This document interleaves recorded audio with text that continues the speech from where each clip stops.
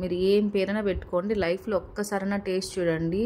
కొద్దిగా కష్టమైన లైఫ్లో ఒక్కసారైనా ట్రై చేసి చూడండి. టేస్ట్ అయితే అదిరిపోతుందంటే స్వీట్ స్వీట్గా పుల్ల పుల్లగా ఉప్పు ఉప్పగా చాలా అంటే చాలా బాగుంటుందండి. Bun dosa sponge dosa bread dosa ఏ పేరైనా పెట్టుకోండి. టేస్ట్ మాత్రం అదిరిపోద్ది అంతే. నాలుగు గ్లాసులు పచ్చిబియ్యం నానబెట్టుకోండి. Four hours నానబెట్టుకోండి. నానిన తర్వాత చిల్లల గిన్నెలో వేసుకొని నీళ్ళంతా ఒడిగినాక కొద్దిగా ఆరబెట్టుకోండి. బియ్యం బాగా ఆరిన తర్వాత మిక్సీ పట్టుకోండి. మరీ మెత్తగా పట్టుకోవద్దు కొద్దిగా రవ రవగా పట్టుకోండి.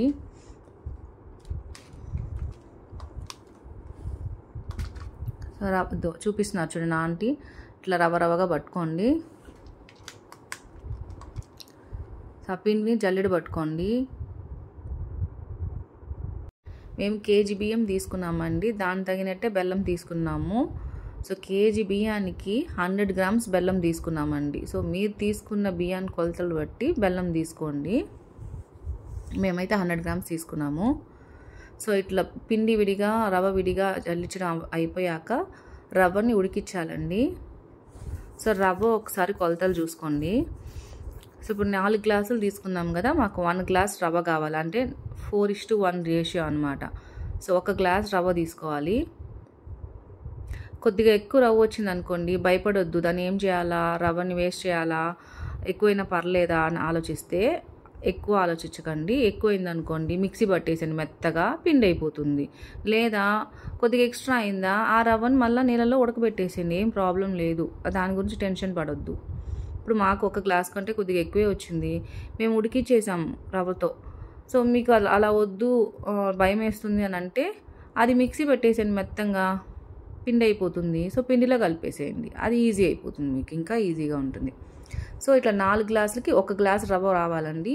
ఆ ఒక గ్లాస్ రవ్వని నాలుగు గ్లాసులు నీళ్ళు పోసి ఉడికించాలి. ఆ నీళ్ళలో కొద్దిగా ఉప్పు వేయండి. చెప్పాను కదా ఉప్పు ఉప్పుగా తీయ తీయగా పుల్ల పుల్లగా ఉంటుందని. ఇప్పుడు ఫస్ట్ ఉప్పు యాడ్ చేస్తున్నాం సో నీళ్ళు మరిగాక కొద్దిగా నూనె వేస్తున్నాము. నూనె ఎందుకు వేస్తున్నామంటే రవ్వ ఉండలు కట్టకుండా ఉండడానికి. మేమైతే వీడియో కోసం ఇంకా మాకు తోడు ఎవరు లేదు ఇట్లా పోసేసాము. మీరైతే కొద్ది కొద్దిగా పోసుకోండి. మనం ఉప్మా చేసినప్పుడు రవ్వ ఎట్లా వేసుకుంటామో అలా వేసుకొని కలుపుకోండి. అప్పుడు ఉండలు కట్టకుండా వస్తాయి. సో బాగా కలుపుకోండి. బాగా కలుపుతూ ఉండాలి.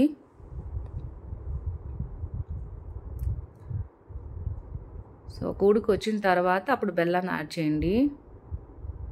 ఒక కేజీకి హండ్రెడ్ గ్రామ్స్ వాడామండి. సో మీరు దాని తగినట్టు కొలతలు తీసుకోండి. ఇప్పుడు సెకండ్ టేస్ట్ తీయ తీయగా అన్నాను కదా ఇప్పుడు బెల్లం యాడ్ చేసాము సో బెల్లం బాగా కరిగిన కరిగేదాకా బాగా కలిపెట్టండి. బెల్లం కరిగేది మనకి ఎట్లా తెలుస్తుందంటే కలర్ తేడా వస్తుంది గోధుమ రంగులో వస్తుంది రవ్వ. చూస్తున్నారు కదా కలర్ మారింది. సో బాగా కలుపుతూ ఉండండి. మనకి రవ్వ ఉడికేది లేని మనకే అర్థమైపోతుందండి. బాగా దగ్గరకు వస్తుంది. ఉండలు లేకుండా కలుపుకుంటూ ఉండాలి. ఉండలు వచ్చినా దిగులు పడొద్దు భయపడొద్దు ఏం కాదు. పప్పు ఎనుపుతాం కదా దాంతో ఇట్లా ఎనిపేసి ఎండిపోతుంది మాకు రవ్వ ఉడికిపోయింది. ఇంకా స్టవ్ ఆఫ్ చేసేసాము. ఇంకా అది అట్లే వదిలేయాలండి. బాగా చల్లారిన దాకా వదిలేయాలి. చల్లారితే ఇట్లా గట్టి పడుతుంది. బాగా చల్లారిపోవాలి. చల్లారాక హాఫ్ లీటర్ పెరుగు ప్యాకెట్ తీసుకోవాలి. పుల్ల పుల్లగా అని చెప్పాను కదా ఈ థర్డ్ వన్. ఒక కేజీ పిండికి హాఫ్ కేజీ పెరుగు పడుతుంది. ఇట్లా పెరుగేసి బాగా కలిపేయాలి. పెరుగు బాగా కలిపినాక ఏదైతే పిండి మనకి మిగిలిందో బియ్య పిండి అవంతా వేసి ఇట్లా కలుపుతూ ఉండాలి. దీంట్లో మళ్ళీ మీరు వాటర్ యాడ్ చేయడం కానీ ఏం అవసరం లేదు ఏదైతే పెరుగు యాడ్ చేసామో ఆ పెరుగులోనే ఈ పిండి అంతా సరిపోతుంది. మన కొలతలు కరెక్ట్గా ఉంటే అన్నీ కరెక్ట్గా వచ్చేస్తాయండి. సో ఆ పెరుగు చెమ్మలోనే ఈ పిండంతా వచ్చేస్తుంది చూడండి. బాగా కలుపుతున్నారు. కొద్దిగా చేతుల్లో బలం ఉండాలండి కలపాలంటే. సో ముందుగా బాగా తిని రెడీ అవ్వండి. బలం తెచ్చుకోండి. ఇప్పుడు ఓవర్ నైట్ అలానే ఉంచేసేయాలండి. సో ఇది మార్నింగ్ అనమాట మార్నింగ్ ఇప్పుడు మనం కలిపి పెట్టినప్పుడు ఎంత గట్టిగా ఉన్నిందో మార్నింగ్ అయ్యేటప్పటికి అదే పలచగా అయిపోయింది. మనం వాటర్ కానీ ఏం కలపలేదు. అలానే ఉంచేసాం అదే పలచబడిపోతుంది అనమాట పిండి. మనం ఏం అవసరం లేదు యాడ్ చేయాల్సిన అవసరం లేదు. ఒక సోడా ఉప్పు సోడా ఉప్పు మాత్రం ఒక్క స్పూన్ యాడ్ చేసుకోవాలండి ఖచ్చితంగా. కొద్దిగా యాడ్ చేస్తే మాత్రం అవి పొంగవు. సో ఎక్కువ యాడ్ చేసుకోవాలి. బాగా ఒక స్పూన్ దాకా పడుతుంది సోడా ఉప్పు. సో కడాయిలో కొద్దిగా ఆయిల్ వేసుకొని రెండు గంటల పిండి వేసేసుకోండి. దాన్ని ఇట్లా కదిలించొద్దు. అట్లనే వదిలేసి మూత పెట్టేసేయండి. సో బాగా ఇట్లా కాలిందని తెలిసిన తర్వాత తిరగేసుకోండి. మళ్ళీ మూత పెట్టేయండి. మూత పెడితే బాగా ఉడుకుతుందండి లోపలంతా. ఇంకా బంద్ దోశ రెడీ అయిపోయింది. చూడండి ఎంత బాగుందో. సో దీంట్లోకి చట్నీ కూడా కాంబినేషన్ ఆంటీ చేశారు. చట్నీ కూడా నేను షార్ట్ చేసున్నా.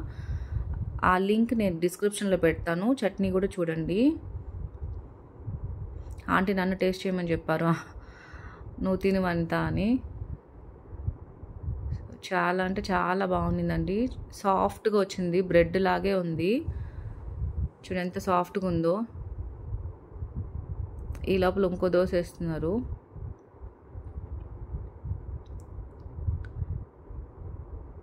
చూడండి ఎంత బాగుందో చూడండి.